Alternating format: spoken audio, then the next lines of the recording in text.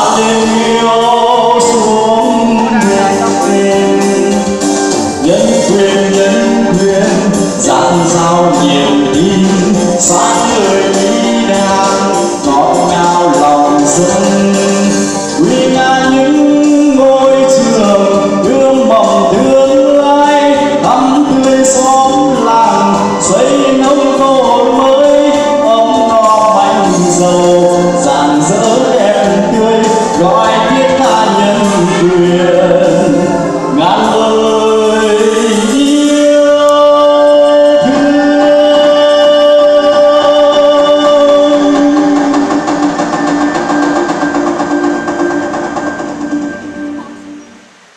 nhanh để người có nhanh mới kịp đấy hai phút rồi Kính thưa quý vị, thưa toàn thể bà con, nhân quyền quê hương chúng em một vùng quê có từ ngàn đời, từ thuở sơ khai tới khi toàn thịnh rồi phát triển rực rỡ cho đến ngày nay.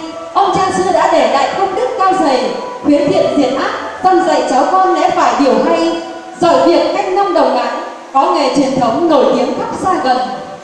và cũng là vùng đất hiếu học. Bảy vị tiên hiền đỗ đạt thám hoa tiến sĩ như danh nhân Phạm Đình Hổ còn thâm tỏa ngàn thu, người dân nơi đây vốn sáng tạo cần cù, đoàn kết vun đắp hương ốc đồn điền ngày thêm trù phú. Đất nhân quyền ngàn năm văn hiến Có những bậc hiền tài danh tiếng xưa nay Biết đâu là gương sáng người hay Có chuẩn tục trong dân gian trở thành huyền thoại Cho đến hôm nay, người nhân quyền lắm được vận hội kịp thời, truyền dịch cơ cấu liệu bài trước sau. Kinh tế đang nghiệp đi đầu, là hoa mười vấn nhịp cầu ấm no, còn cây mặt nước ao hồ, phải điều chín đỏ nhấp nho cá vờn, nhưng nghề dịch vụ sớm hôm các tiêu xây dựng có thôn đẹp lâu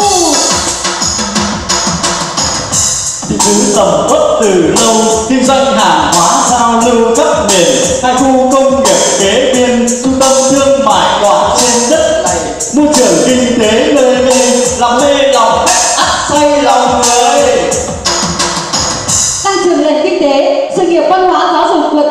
Bởi thế, từ năm 2000 đến năm 2006, ba nhà trường đều đạt chuẩn quốc gia, xã đạt chuẩn quốc gia về y tế, bốn thôn đều đạt danh hiệu làng văn hóa làng sức khỏe. Năm 2014, Nhân quyền là xã đầu tiên của tỉnh Hải Dương đạt tiêu chí nông thôn mới theo Bộ Tiêu chí Quốc gia.